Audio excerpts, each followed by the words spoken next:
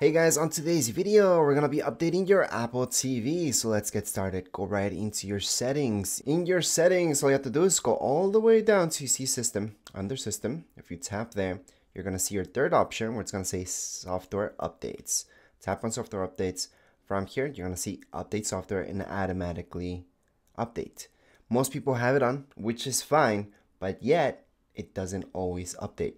So go into the first option, tap right there you're gonna see the latest update, which yeah, it is version 17. So we're gonna go ahead and download and install. At this point in time, I would suggest not watching anything because it will restart and then it's gonna download the latest tvOS for your Apple TV. Now yes, it does depend on internet speed how long this will take.